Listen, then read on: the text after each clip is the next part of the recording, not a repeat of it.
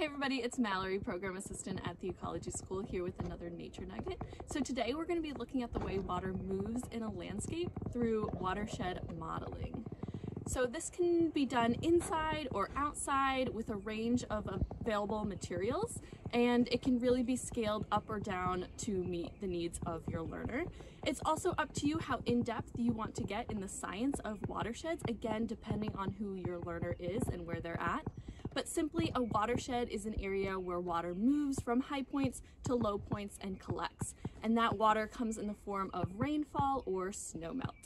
So we are going to be building our own landscape or our own watershed and uh, simulating and observing the movement of water through that watershed.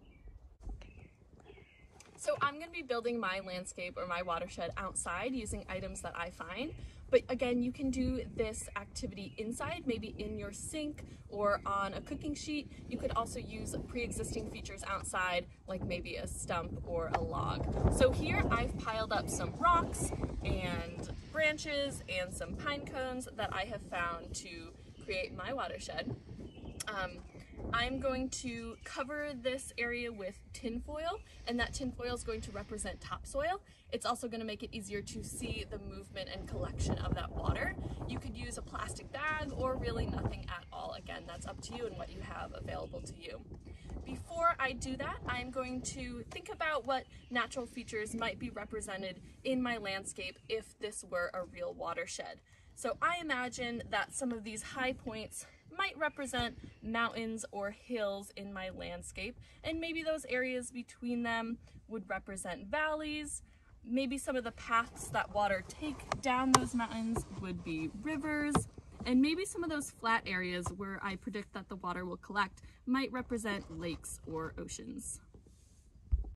So before I add water to my landscape, I'm going to use food coloring and add a couple of drops to, again, some of those highest points in my landscape. Because when that rainfall does come down, those are some of the first areas that the water is going to hit. Using this food coloring is gonna make it easier to see where that water travels and where it collects, but it is totally optional.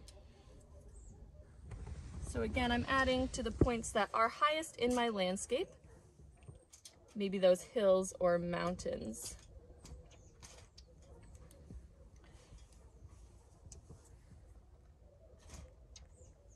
And before I pour my water, I'm going to make some predictions.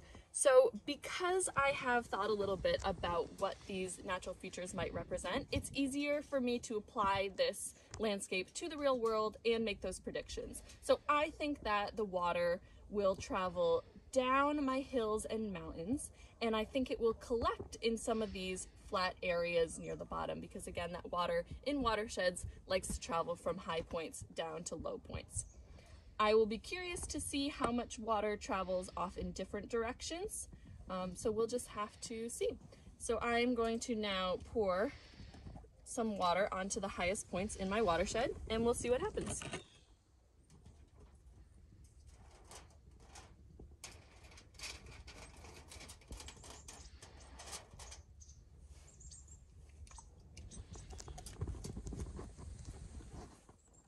So after watching what happened in the watershed, that water did travel down those hills and mountains and the largest area that it collected was right over here. That might represent a large lake in my landscape.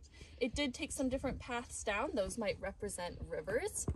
So that's it. And you can take your tinfoil or plastic off and shake it off and rebuild a watershed and do this activity as many times as you want.